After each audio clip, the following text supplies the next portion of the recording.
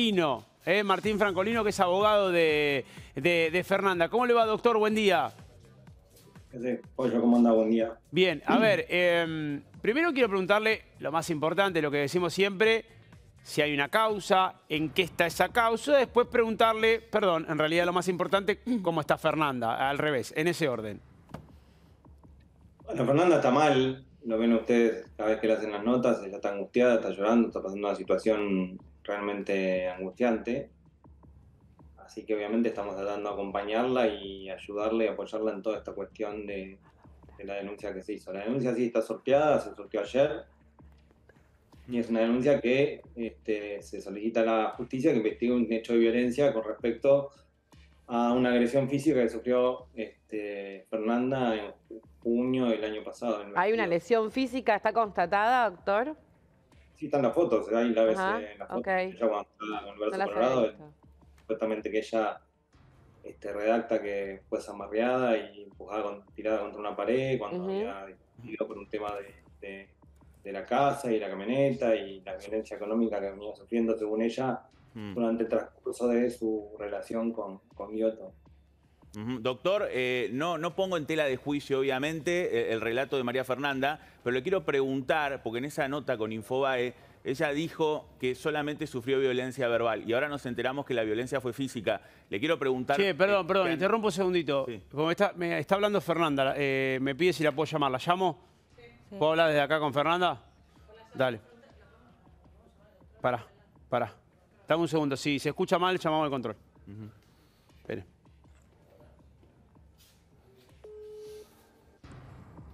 A ver. Ahí va. Hola, Pollo. Hola, Fer, ¿cómo estás? ¿Cómo estás, Pollito? ¿Cómo va? Bien, bien, mi vida. Eh, entiendo que algo no te gustó o algo te molestó porque me dijiste, te, te puedo llamar o me pueden llamar. ¿Cómo, no, est- cómo estás vos? No, no, no. No, no, todo lo contrario. Simplemente fui a dejar a mi hija al, al colegio y estábamos entrecruzándonos eh, con Martín Francolino, mi abogado que está ahí sentado. Buen día, Martín. Gracias por estar ahí. ¿Cómo estás, Fer? Em, ¿Cómo estás vos? Yo estoy como puedo, como puedo, pollo, como puedo. Em, no sé hasta dónde puedo hablar porque lo que no estamos pudiendo, digamos, tenemos tantas cosas que resolver, sobre todo em, el doctor que me está ayudando, Martín, que yo tengo una cautelar. Ahí Ah, escuchaba a Juan, era el Sí, que estaba sí, hablando Juan recién. Echegoyen, sí. Hola Juan, buen día. Hola, Fer. Eh, yo elegí no, no hablar porque, porque hasta último momento eh, con Martín estuve decidiendo esta, eh, llegar al punto de decidir de- realmente si, si tenía que hacer esto. Esa denuncia que ustedes están viendo ahí, para mí también es una vergüenza pero acá estoy y ahí y acá llegamos. ¿Y cómo se llega a esto? Así, tapándole la boca a alguien que no puede explicar, no puede eh, expresarse como, como estoy acostumbrada a expresarme con la verdad, genuinamente, auténticamente, mal, bien, equivocado, no.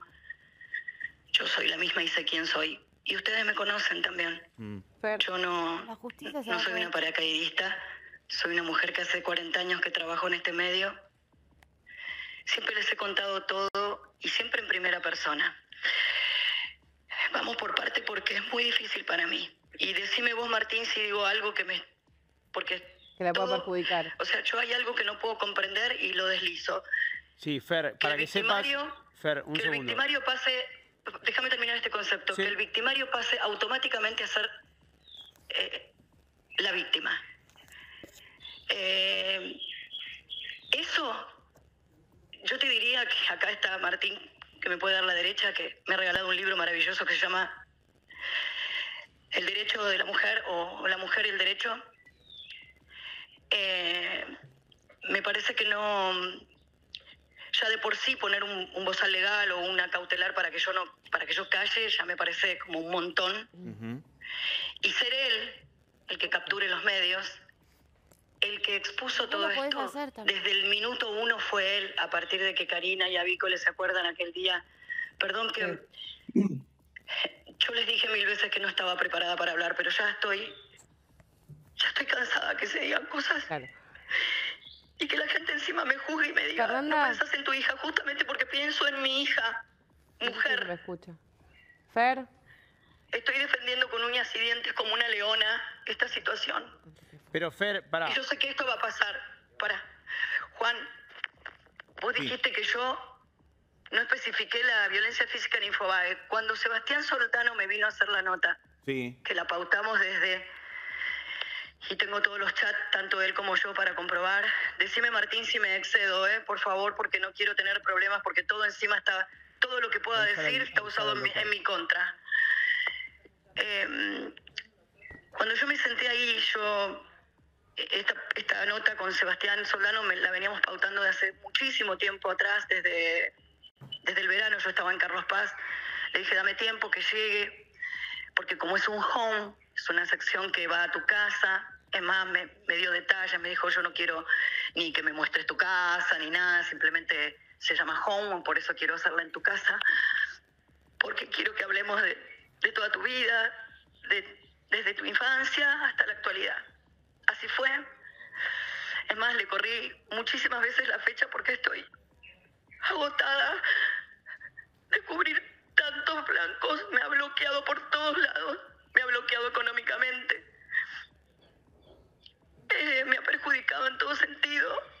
Mm. Es mentira que yo no pago. Yo pago todo lo que me corresponde Fer, y a mi hija no le falta absolutamente nada. Cuando Sebastián me hace esta nota, fue antes de la cautelar que me puso él. sí, sí, sí. Yo esta nota la hice antes y se tenía que editar para que salga, no sé, a los cinco días, ponele, esto puedo dar fe y tengo el apoyo de Sebastián que, me dijo, contá conmigo, ¿por qué digo esto?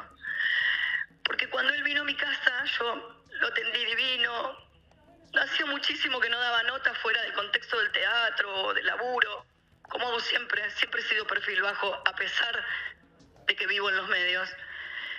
Y mm, vino a mi casa y empezamos a tener esta charla hermosa, donde hablamos de todo, de mi infancia, de mi vida, de mis padres, de mi... Y en un momento me pregunta, él fue muy clave y muy...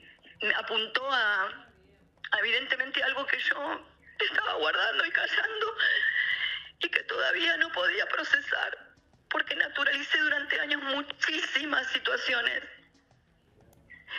Y, y me preguntó, contame cómo fueron esos días cuando estabas tr- tratando de tomar la decisión de, de separarte, qué pasaba. Le digo, mira, yo no, no hay un solo detonante siempre para, para separarse. Sí es real que yo omití, yo lo defendí, yo traté de defenderlo, sobre todo cuando salió al aire esa, ese chat, que fue un escarnio público durante una semana, que yo no lo filtré, lo filtró la señora Marcovecchio en, la, en vivo, que yo estaba trabajando ahí. Y justo ese día, no sé si no, no me tocó hacer reemplazo, en fin. Cuando a mí no me importaba la infidelidad, a mí me importaba, a mí lo que me impacta de ese chat, que también lo presenté en la justicia, es cuando le dice, yo no me voy de mi casa, le dice, empanadita, vinito, eh, pareja abierta, ¿qué onda? No sé, le dice la chica. Mm.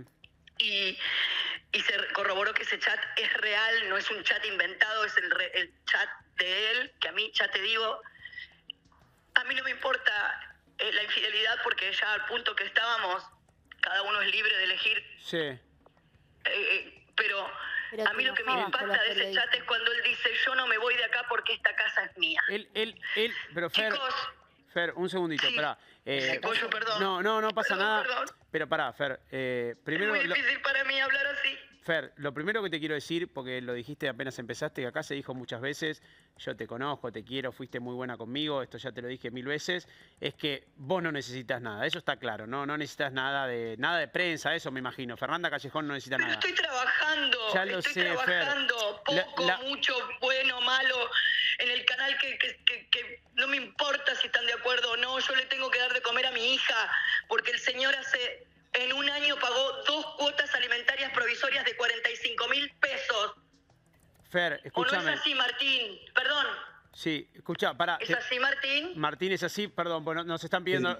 Pará, vamos a hacer una cosa, Fer. Y, y vamos a hacer una Ordenemos, cosa. ordenemos, Sí, no, porque quiero que esto... Pará, nos piden un corte. Vamos a hacer una cosa. Te conecto, te conecto por, por la otra línea, porque estoy con el celular, te conecto por la línea de producción. Hablamos con Martín y, y lo hablamos mejor. ¿Puede ser que me voy al corte, Fer, y hablas, y hablas Sí, tranquila? Así yo, también me, así yo también me acomodo, les quiero Dale.